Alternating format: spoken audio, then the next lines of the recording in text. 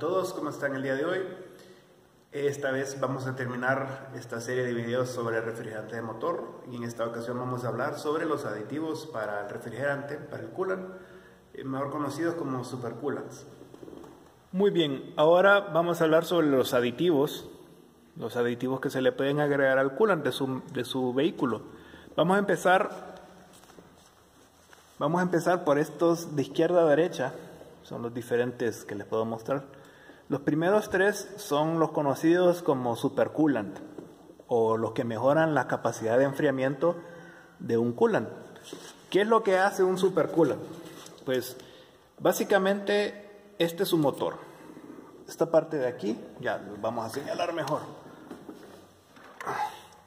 Esta parte donde dice metal motor es la pared del motor de su vehículo, digamos que por aquí, este es un paso de agua, lo que hace es que mm, el agua va fluyendo como torrente, o sea, va a circular por el motor, es un ciclo. La bomba de agua es la que empuja ese coolant por, el agua refrigerante por, a través del motor, pero en los pasos va teniendo contacto con el metal. Ahora, el metal, como es motor, el motor hace combustión, el metal se calienta. Entonces se empiezan a formar burbujitas que son a causa, número uno, del empuje del agua, que ustedes saben que el agua, eh, el agua pues le empuje la bomba y esa bomba es una hélice pues, y la hélice genera burbujitas y las burbujitas se acumulan en las paredes del motor.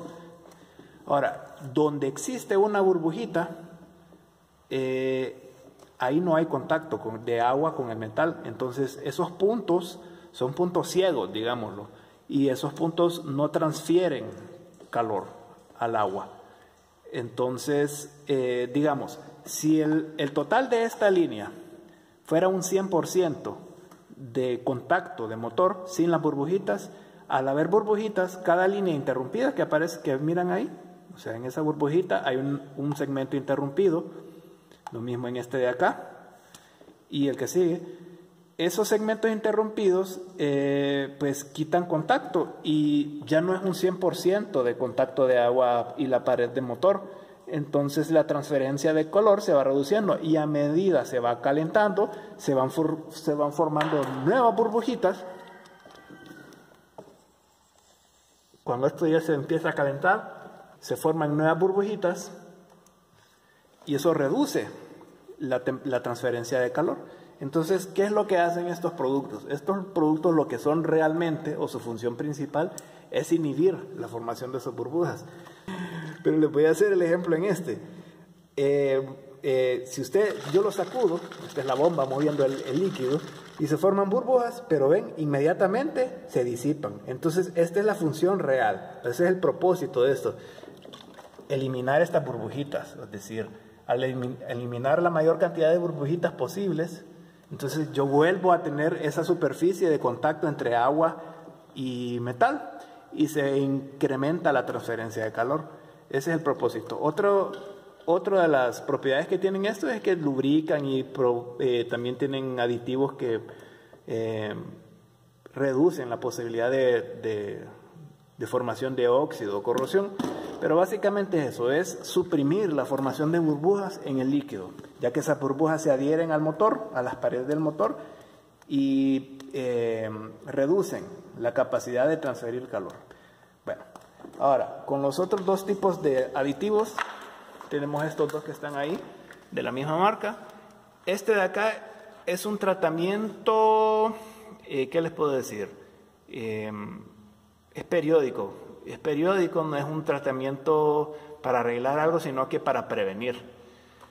Son tabletas, estas se disuelven con agua y pues lo que hacen estas tabletas es que tienen, mejoran la capacidad de lubricar, eh, protegen de la corrosión, pero como son se vuelven eh, unas partículas bien pequeñas, orgánicas, que al haber un agujerito pequeño, eh, se van acumulando en ese agujerito y tapan fugas pequeñas. Eso es, un tapafugas pequeño para, para situaciones pequeñas o para prevenir una fuga o que en un dado caso se esté produciendo una fuga, esto lo va a contener, lo va a contener, es decir, se van a, se van a acumular estas partículas en la fisura y no van a tener una fuga dramática instantánea, sino que va a ser una fuga controlada, ustedes lo van a notar y va a ser más fácil eh, atender el problema. Y este último eh, se utiliza para cuando ustedes ya tienen una culata, un empaque de culata malo, para algunos casos. En el caso cuando se pasa agua al aceite, eh, lo que es es otro tipo de, micropartículas, creo que son de fibra de vidrio y qué sé yo, otras cosas, cerámicas incluso, he llegado a leer en algunos casos. Si ustedes no quieren hacer el trabajo del empaque de culata, si ese es el caso, se les está mezclando agua al aceite y la, la situación no es tan grave, ustedes pueden utilizar ese líquido, hay que estudiar el caso, claro, hay candidatos y no candidatos para este tipo de producto eh, eh, si ustedes tienen un sistema de, enfriamiento limpio, es decir, que lo han mantenido, que no tiene depósitos, es, usted es un buen candidato. Y si usted tiene um, agua pasando al coolant, eh, empezando a pasar al coolant, perdón, al, aceite de motor, usted es un buen candidato, dadas esas dos condiciones. Si no cumple esas dos condiciones, entonces no lo utilice, porque va a, va a incrementar su problema o no, lo, no le va a solventar pero eh, de hecho sí, trabaja muy bien en, algunos casos. Eh, em, eh, se sella el hoyo, el, empaque de culata, que es este que aparece dibujado ahí. Cuando ya se quema, se, se rompe la barrera que protege y lo que hace estas partículas se acumulan. Esta parte de aquí está fisurada. Entonces, estos, los componentes de esto se van adhiriendo ahí y se forman, se hacen sólidos y logran sostener la presión y el calor y por a veces por mucho, mucho tiempo, a veces para toda la vida, a veces eh, dependiendo de la gravedad del caso, a veces eh, pocos días, semanas o meses. Pero eh, cuando es un buen candidato, trabaja bien. Bueno, entonces eso es básicamente todo lo que tenemos con los componentes, con los aditivos. Se me olvidó este rojo. Este rojo es este mismo verde, son los tres, o sea, los mismos, los tres son igual. Nada más que esta es una fórmula para motor diésel.